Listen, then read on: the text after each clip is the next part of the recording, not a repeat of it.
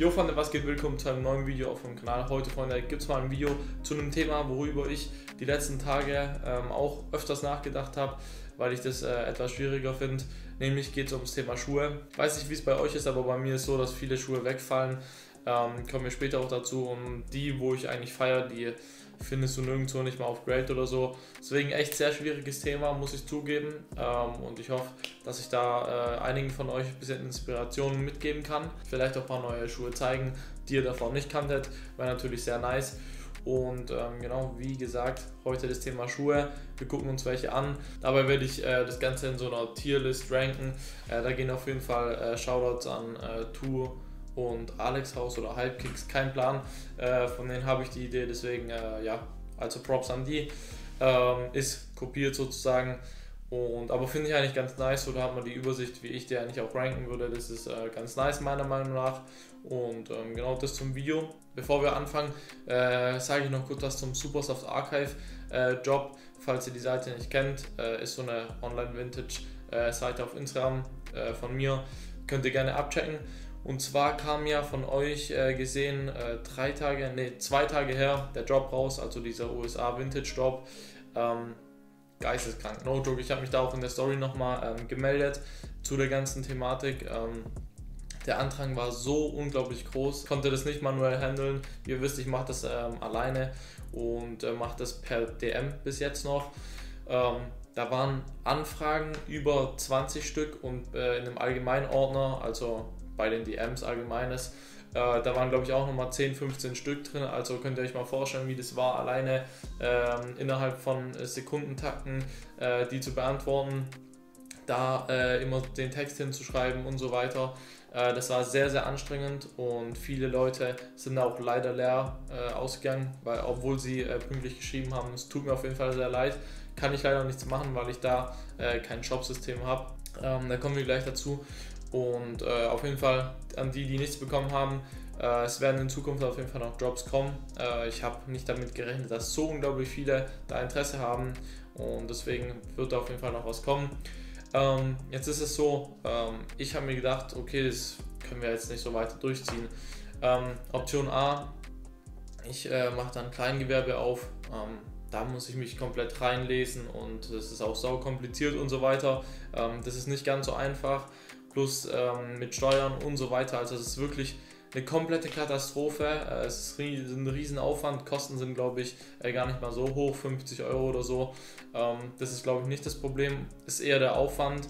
Ähm, bezogen halt darauf, wie die Nachfrage ist. Lohnt sich überhaupt? Weil ich hatte es eigentlich nicht vor, äh, aktiv durchzuziehen, da ich, falls ich mal Bock habe, immer wieder was rauszuhauen. Aber äh, es sollte sich ja schon lohnen, wenn man da was Großes aufmacht. Deswegen Schreibt mir gerne eure Meinung dazu in die Kommentare. Option äh, 2b ähm, ist dann einmal das Ganze auf Winter zu machen. Da ist einfach der Vorteil, man hat ähm, nicht so einen hohen Aufwand, also kein Gewerbe gründen und so weiter. Das würde wegfallen. Ähm, plus man hat ein Shopsystem sozusagen äh, bei Vinted, da kann man auf Kaufen drücken, Überweisung, PayPal, ich sehe eure Adresse und so weiter. Also ähm, wie bei ganz normalen Jobs, der wo als erstes kauft, bekommt es auch. Ähm, Wäre auch eine Option. Das ist halt der Nachteil, äh, da zahlen wir Fees. Also ich glaube, wenn man ein Piece für 50 Euro anbietet, sind es glaube ich 3 Euro oder so. Also ja, müsst ihr entscheiden, beziehungsweise muss ich entscheiden im Endeffekt, aber schreibt es mir gerne in die Kommentare, was ihr davon haltet. Ich will es jetzt auch nicht so lang äh, halten. Das zu dem Thema und dann fangen wir jetzt auch mit dem Video an. Äh, davor, wie immer, könnt ihr mich natürlich mit einem Like, mit einem Abo unterstützen. Würde mich sehr freuen und äh, genau, dann fangen wir jetzt an. So, Freunde, genug gelabert. Äh, wir fangen jetzt mit dem ersten Schuh an. Bleibt gerne bis zum Ende dran, äh, dass ihr da auch so die Übersicht habt, welche ich am nicesten finde und so weiter. Äh, der erste Schuh auf der Liste, den ich auch schon sehr lange im Visier habe, ist einmal der Sui Coke äh, Moto VS.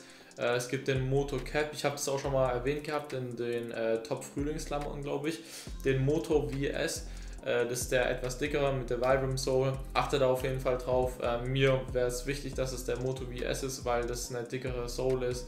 Ähm, und einfach nicer aussieht. Kostet ein bisschen mehr, ich glaube, den bekommen wir so für 150 bis 250 Euro, sowas um äh, den Dreh. Ist ein Slide ähm, und muss ich sagen, ist äh, vom Look her einer der nicesten Schuhe für den Sommer. Ähm, bei mir ist das Ganze so, ich nehme es mir vor, okay, ich rock den Schuh, aber bei so außergewöhnlichen Pieces ist dann am Ende des Tages, ähm, weiß man halt nie, ob man den dann rocken wird in die Schule und so weiter, ob das dann doch so, ähm, ob man sich das so äh, vorstellt, wie das auch dann wirklich ist. Ich hoffe, ihr wisst, was ich meine. Ähm, das ist meistens bei mir immer so mit etwas ausgefalleneren Pieces, ja, ja, ich rock das in der Schule und so weiter und am Endeffekt rockt man es nie, weil man sich denkt, ja, ist zu extravagant oder so ein Shit.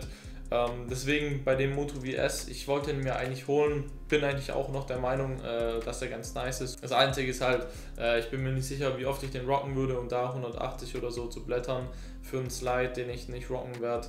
Äh, da muss ich mir auf jeden Fall noch ein paar Gedanken machen. Aber vom Look her und so weiter, von der Funktionalität, äh, muss ich sagen, ist es schon ein sehr krasser Schuh. Äh, ihr werdet dann irgendwo sehen, wie ich den eingerankt habe im Vergleich zu den anderen Schuhen. Und das war der erste Schuh slash Slide. So Freunde, zweiter Schuh in der Liste ist ein Schuh, den dürften die meisten von euch nicht kennen, ist der Essex Kiko Kostadinov ähm, Gel irgendwas, ähm, nagel mich da nicht fest. Suche ich leider schon äh, locker zwei, drei Monate auf Grailed, auf Depop und so weiter, findet man nirgendwo. Ähm, und ja, absolut krasser Schuh, äh, passt für den Sommer wie die Faust aufs Auge gerade dieser Vibe, den der Schuh hat, äh, finde ich extrem cool. Äh, geht ein bisschen in die Techwear-Richtung, aber auch dieses eher sportliche äh, finde ich sehr, sehr cool. Äh, schreibt mir gerne eure Meinung dazu in die Kommentare. Äh, ich denke, das dürfte eher so ein ausgefallener Schuh sein, der vielleicht jetzt für die breite Masse nicht so gut ankommt, aber äh, meiner Meinung nach doch ein sehr nicer Schuh für den Sommer, auch etwas luftiger und denke ich mal auch sehr gemütlich. Zahlt mal so keine Ahnung, 250 bis 400 Euro, also ist halt ein Resale-Preis, den man da zahlt. Äh, plus der Schuh ist sehr selten, das heißt, da gibt es keinen festen Preis. Und genau, das war der zweite Schuh hier im Video. Dritter Schuh hier im Video ist ein Schuh, wo einige sagen vielleicht, okay, kann ich nicht ganz nachvollziehen, ist nämlich einmal der Nike Sakai. Äh, welcher da speziell ist mir eigentlich relativ egal. Ich finde den OG LD äh, Waffle äh, sehr nice. Dann natürlich den, äh, wo Ashraf hauptsächlich gerockt hat. Äh, da denken jetzt viele, okay, der war doch eher so letztes Jahr im ähm, Trend, sag ich mal, äh, und jetzt eher nicht mehr so, wenn man das so sagen kann. Äh, ich finde genau, ich finde genau das gerade nice. Jetzt hört es eigentlich so auf, dass äh, alle den rocken so und allgemein fand ich die Silhouette an sich immer schon sehr, sehr krass. Bloß ähm, haben halt die meisten gerockt so, da fand ich es nicht ganz nice, aber so im Sommer kann ich mir den sehr, sehr krass vorstellen, gerade mit diesem äh, Nylon-Part bei den Weißen. Äh, taugt mir auf jeden Fall sehr krass und der ist halt auch extrem teuer geworden. Also äh, ich glaube, den Schuh werde ich mir auf gar keinen Fall holen, außer es kommt irgendwie ein äh, sehr starkes Angebot mir entgegen. Ansonsten wird es wahrscheinlich nichts, aber ich denke, das ist auch so ein Schuh, wo einige vielleicht vergessen haben oder so. Ähm, für den Sommer auf jeden Fall immer noch ein Top-Schuh und vielleicht kann man da gebraucht auch irgendeinen äh, Stil schießen oder so. Mal gucken, vielleicht ergibt sich da was. Auch ein sehr starker Schuh. Dann kommen wir zu einem Schuh, der äh, die letzten paar Monate auch sehr gehypt wurde. Nämlich ist es einmal der ähm, Comme de Garçon Air Force, äh, die Mitvariante in diesem äh, Constructed ähm, Look. Äh, natürlich der äh, cremfarbene. Den schwarzen muss ich sagen, unpopular opinion, finde ich auch sehr nice. Äh, aber den weißen, gerade für den Sommer, muss ich sagen, ist doch ein Stück äh, cooler. Und gerade wenn man vielleicht auf Air Jordan oder allgemein Jordan 1er, Jordan 4er, ähm, dann Kais oder so, wenn man darauf verzichten möchte, gerade weil die halt gefühlt von jedem auseinandergenommen werden. Ähm, ich möchte da einfach einen Schuh haben, der vielleicht äh, von nicht jedem gerockt wird und es ist zum Beispiel so ein äh, Comme de Gasol Air Force. Auch sehr, sehr nicer Schuh, bloß, ähm, ja, keine Ahnung, der Preis, ich weiß nicht wieso, liegt bei 500 oder so. Ähm, ja, kein Plan habe ich dem letzten auf Grade für, glaube ich, 240 Euro eingesehen, fast neu. Ähm, frag mich nicht, wieso ich den nicht geholt habe. Keine Ahnung. Ähm, ich hoffe, dass ich da ein nice Angebot finde. Ist auch so ein Schuh, den würde ich sehr, sehr gern haben in meiner Schuh-Collection. Und ähm, ja, suche ich auch.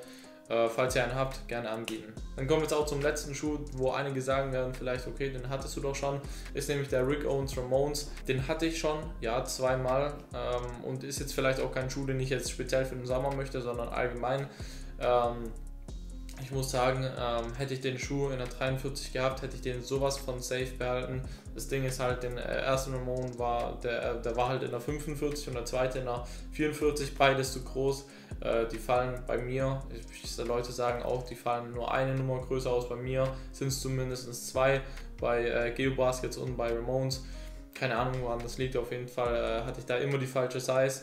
Und ja, ich bin auf der Suche nach einem 43 und ähm, allgemein Rick Owens Ramones feiere ich schon so lang, bloß bin ich zu keinem Nicen gekommen. Ja, einfach mal abwarten und dann dürfte sich das schon regeln. Genau, und das sind so eigentlich die Schuhe, die ich mir für den äh, Sommer holen würde oder euch auch empfehlen würde. Ähm, genau, Top 5 hier. So, Freunde, das waren die 5 Schuhe hier mit dem Video, die ich mir gerne holen würde, beziehungsweise ähm, die ich euch auch empfehlen könnte. Äh, ich hoffe, ich kann da einigen von euch helfen oder äh, inspirieren. Und ähm, genau, das war's mit den Top 5 Schuhen. Ich hoffe, euch hat das Video gefallen. Und dann sehen wir uns wie immer hier auf dem Kanal Samstag 13 Uhr mit einem neuen Video. Haut rein, Freunde, bleibt gesund. Peace.